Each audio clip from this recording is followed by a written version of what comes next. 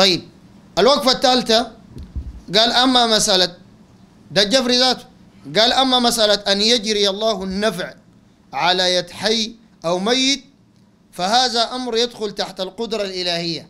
أما مسألة أن يجري الله النافع على يد حي أو ميت فهذا أمر يدخل تحت القدرة الإلهية. الحي ده هو عرفنا- عرفناه. ممكن ينفعك تقول له يا فلان جيب لي مويه هو حي وحاضر. يجيب لك كوز مويه يديك له ده نوع من النفع بالمناسبة. لكن إحنا خلافنا مع الصوفية دعاة الشرك والضلال والبدع إنه الأمور التي لا يستطيعها إلا الله. دي لا بيقدر لها حي لا ميت. والأمور التي يستطيعها العبد دي الميت ما يستطيعها إلا العبد الحي. لكن الأمور التي لا يستطيعها إلا الله لا حي لا ميت ما يستطيعها. لكن الجفري عقيدته خلاف الكلام ده هي عقيدة شركية. قال مسألة أن يجري الله النفع على يد حي أو ميت فهذا أمر يدخل تحت القدرة الإلهية. القدرة الإلهية هنا قدرة الله. طيب الله قال سبحانه وتعالى قال إذا مات ابن آدم انقطع عمله. آه، هذه يوديها وين الجفري قالوا على لسان النبي صلى الله عليه وسلم. لأنه كلام الرسول وحي من الله في النهاية. وما ينطق عن الهوى إن هو إلا وحي يوحى. انقطع عمله إلا من ثلاث وذكر صدقة جارية ولا الصالح يدعو له وعلم ينتفع به. هذا ده يلا ينفعك كيف زي ما بيعتقدوا الصوفية إنه زول بعد ما يموت يموت يمشي يدعو يقول لنا نزل لنا المطر يقولوا بنزل لنا المطر. ادينا الجنة يدينا الجنة. ده القصد الجفري الصوفي. الضال دعاية الشرك والكفر والبدع والضلالات. ده ما ممكن.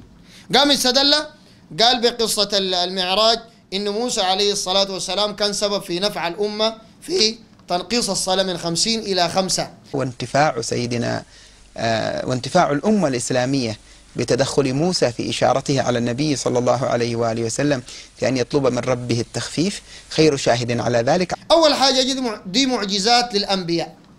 ومعجزات الأنبياء لا يقاس عليها أبدا. ما يقاس عليها تقول لي تقول لي دي معجزة لنبي شيوخ الصوفية يقدر يعملوا زيهم. لأنه شيوخ الصوفية ما أنبياء. ولا في نبي كان صوفي أصلا. ولا في زول صالح هو صوفي. في النهاية يعتقد العقائد الشركية أعني تحت الصوفية الموجودة الليلة. فده كله كلام باطل. ما يقاس على معجزات الأنبياء.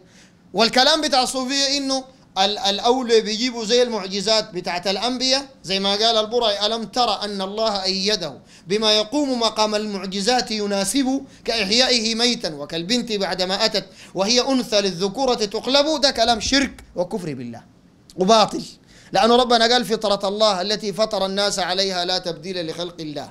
وإحياء الموتى كانت معجزة لعيسى فلا يمكن أن تكون لولي. ده إذا كان شيخ الصوفية أولياء ناهيك إنه كلهم على ضلال ما أولياء.